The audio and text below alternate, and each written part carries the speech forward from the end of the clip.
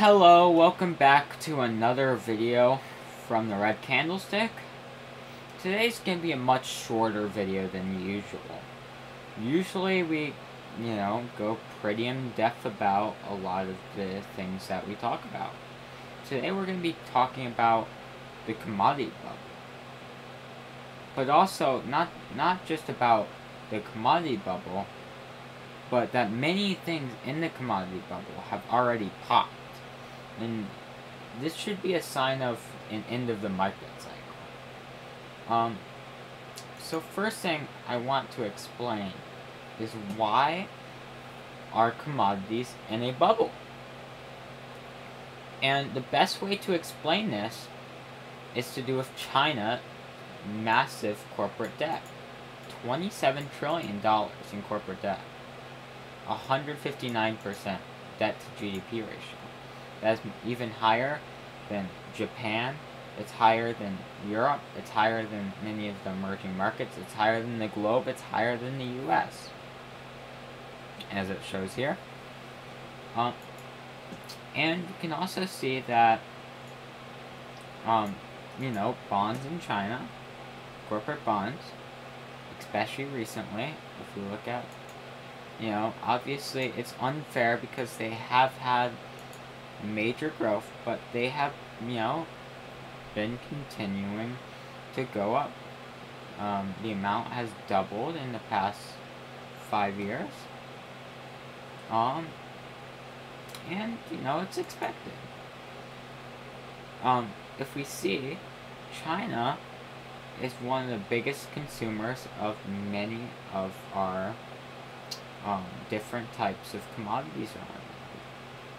Coal, aluminum, nickel, zinc, copper, iron ore, lead, platinum, hydropower, palladium, oil, natural gas, nuclear energy, all of that stuff. Now, coal is the most interesting since it basically crashed because of the China's actions. Obviously, this affects energy stocks. Um, I, I remember crude oil went down um, on Friday, like over 10%, which was quite insane. Uh, aluminum, aluminum has seen a price drop very recently nickel is one of the ones that have seen has just seen a price continuing to rise. Zinc had a huge spike and now is down a little. Copper has been trading sideways. And iron ore iron ore is very interesting Is this the main reason why this has gone down so significantly is because of the real estate crisis in China since they used a lot of steel to produce their housing. And steel requires iron. It also requires coal. So this makes sense why these two look most affected by what's happening in China. Now all of these should be affected at some point by what's happening in China.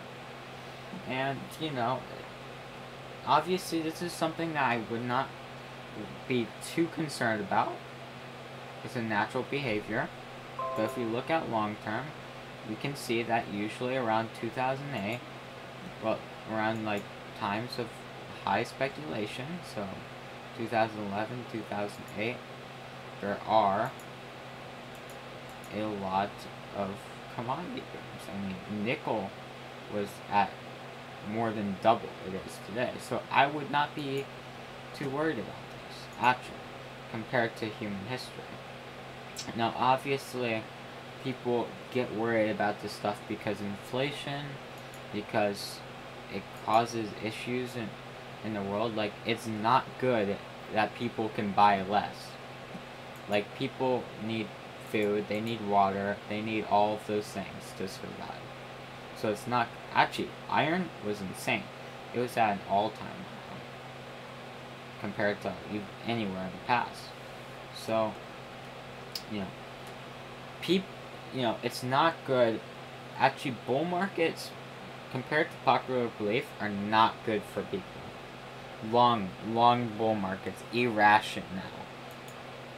They're not good for people because this is what happens.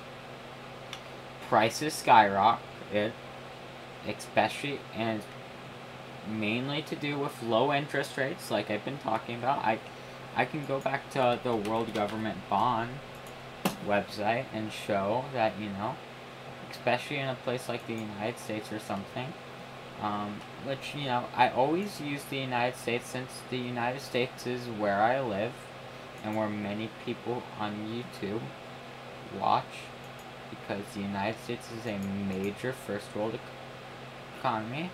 And if you look over time this our yields are much lower than any historical time in the past. Um, this is a short period of time now if I go maybe to 10 year you can see much longer yeah so they used to be much, much higher. Obviously, this is not, you should not compare it to this, but still, they used to be much higher. And that's the point. Since they used to be much higher, and now they are even lower than ever, and the amount of money in circulation has gone up, it is expected that commodity prices would go up. Same thing with 2008. People had easy access to money, so prices went up. And everything collapsed. That's what that's what happened to 2008 crisis. Because those I mean the underlying was not even good. They had adjustable rate mortgages which interest rates were going up during the time. So it's kind of absurd that people did not see it coming.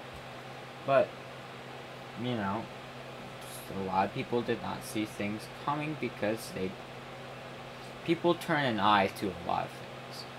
Obviously, I might I'm not really overcomplicating this.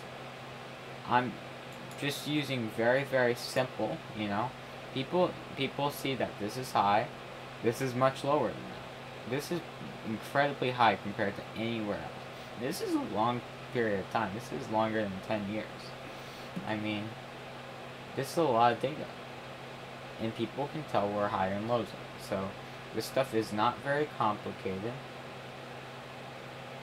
I mean, if you compare businesses, you know, price earnings, and then their price, I mean, that's a good starting point to value something. Expect cash flow is even better. But growing cash flow is a good sign. Lowering their debt uh, compared to their asset size is good too. Especially if they have high debt. But it's not always a bad thing either.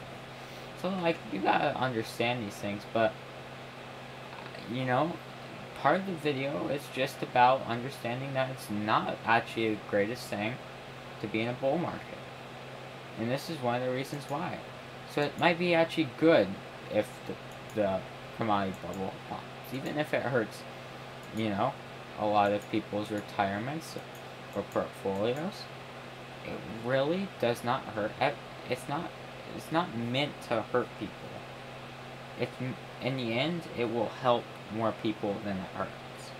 Because that means that if more people have access to food, water, more people have access to homes, all of that, the world the world is better off.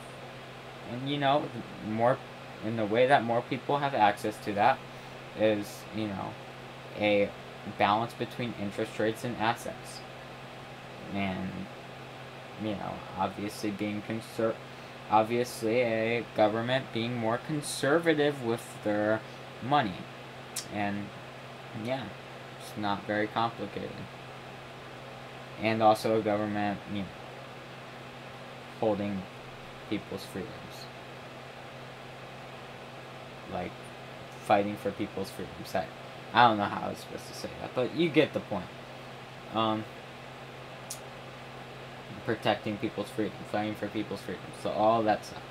You know, all that stuff is pretty important. I don't know where I'm getting here. But you know, you get the idea. Um, that's about the end. And there's not much else I can really say.